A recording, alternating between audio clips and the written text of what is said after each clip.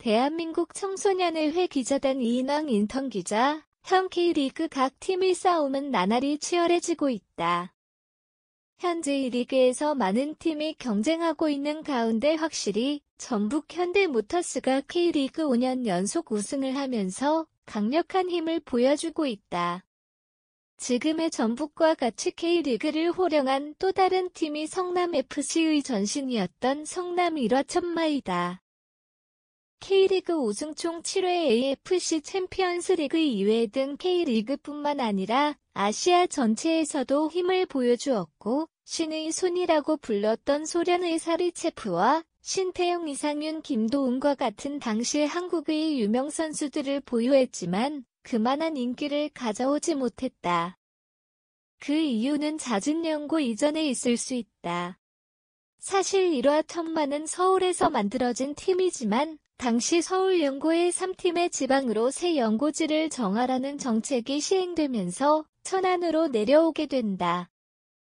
하지만 천안의 경기장 시설을 열악하고 구단 성적도 좋지 못하자 이를 한 번에 반전할 기회로 또 한 번의 연고 이전을 계획하게 된다. 그 후 성남으로 연고 이전을 결정하게 되고 성남 종합운동장으로 홍구장을 옮겨 성남에서 제대로 자리 잡게 되었다. 성남의 초대 구단주는 피스컵과 같은 대회를 직접 만들어 토트넘 PSV 레알 마드리드 유벤투스 아스톤빌라 등등 세계 다양한 명문 구단들을 초청할 정도로 축구에 대해 열정적이었다. 하지만 초대 구단주가 사망하게 되면서 다음 구단주인 그의 아들은 이 축구라는 수익성이 떨어지는 사업에 점점 손을 떼길 원했다. 그 후 2012년 무기업인 통일그룹이 구단 운영을 포기하길 원하는 의사를 보이면서 해체 위기에 맞았지만 다행히 2014년 1월에 재창단이 진행되면서 시민구단으로 전환되었다. 그렇게 2014년부터 시민구단으로 다시 출발하게 된 성남FC는 잠깐의 강등 아픔도 있었지만 현재 김남일 감독을 필두로 강등을 지속해서 피하고 있다. 하지만 2022년의 K리그 승강제 시스템의 변화가 논의되면서 10위까지 승강 플레이오프에 들어가 잘못하면 K리그의 3팀이 강등당할 수 있는 상황이 되었다. 이번에 성남FC가 11호 시즌을 마무리한 것을 생각해 보았을 때 이것은 좋은 상황은 아니기 때문에 2022년 카타르 월드컵으로 인해 빠르게 시즌이 시작하는 것을 고려해 이번 시즌에 보여준 일선에 많은 숫자가 있지만 전진 패스가 부족한 문제 수비와 미드필더 사이의 간격 문제 측면 커버 문제 등을 보완하기 위해 빠르게 시즌 준비에 들어가 대책을 세워야만 한다.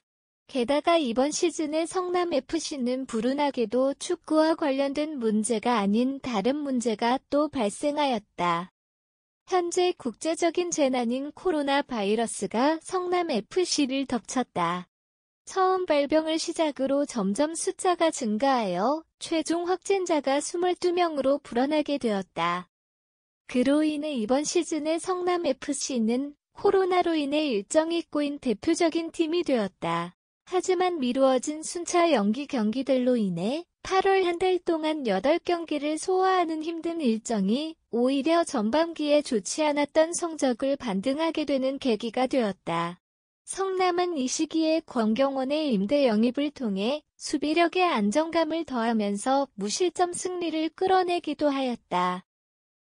또한 빌드업 없이 최소한 패스를 통해 전개하여 공격이 전체적으로 뮬리치와 같은 선수들의 개인 능력이 집중되는 경향이 있었으나 이후 세트피스 상황에서도 집중력이 올라가면서 부족한 득점력이 보완되는 결과도 얻게 되었다. 이는 득점과 기대 득점 모두 리그 최하위를 기록함에도 불구하고 잔류하게 되는 계기가 되었다. 그러나 성남FC는 작년 시즌 가장 많은 확진자가 발생한 팀인 만큼 자가 격리 후 경기 초반 적응 문제와 컨디션 문제가 보였다. 성남FC 선수와 구단의 잘못이 아니지만 선수 개인 차원과 구단 차원에서의 각별한 코로나 바이러스에 대한 주의가 필요할 것이다. 추가로 성남은 선수 이탈로 인한 주에 점이 하나 생기게 되었다. 이번 시즌을 끝으로 수비의 핵심이었던 권경원 선수가 FA로 일본 제1리그 간바 오사카로 떠나게 되면서 아직 이적 시장이 끝나지 않았지만 권경원 선수 정도의 수비수를 꼭 데려와야만 한다는 과제를 얻게 되었다. 그래도 다행히 13골로 K리그 득점 순위 5위인 뮬리치와 재계약에 성공하면서 걱정을 덜게 되었다. 하지만 김남일 감독이 평소에 쓰는 포메이션이 투톱을 사용함에 따라 뮬리치와 호흡을 맞출 파트너 영입이 필요하다. 물론 현재 있는 스쿼드 자원 안에서 활용이 가능하지만 이것이 효율적인지 알 수 없다. 그래서 김남일 감독은 현재 FC 서울이 공격수인 박동진을 데려오기 노력하고 있지만 아직 이적 협상을 마무리되지 않은 상태이기 때문에 이에 따른 대비책 또한 구비해야 할 필요성이 있다. 그래도 스포츠 서울에서 진행한 김남일 감독의 인터뷰에 따르면 자신들의 팀은 끈끈하고 탄탄하여 고비를 넘기는 힘이 생겼다며 자신감을 내비쳤다. 이어서 연습 경기를 최대한 많이 하면서 문제를 발견하고 개선하려고 하고 현실적으로 잔류가 목표가 되겠지만 가능하면 그 이상도 보고 싶다며 다가오는 시즌 준비에 큰 노력을 기울이고 있다고 밝혔다. 이처럼 전체적으로 성남FC가 장밋빛 미래가 있는 것은 아니다. 하지만 역설적으로 잿빛 미래가 있는 것 또한 아니다. 성남 1화 천만은 대대적인 투자로 K리그와 아시아에서 강력함을 나타냈지만 비인기 구단에 불과했다. 반면에 성남FC는 마케팅적으로 성남 1화 천마보다 더욱 효과가 좋다. 물론 성적은 전과 비교해 낮지만 코로나로 인해 리그 진행이 힘들어진 상황에도 위기를 기회로 바꾸어 결국 성과를 이루어낸 모습을 보였다. 이번 시즌 K리그에서 성남FC가 어떠한 활약을 보여줄지 궁금한 팀이다.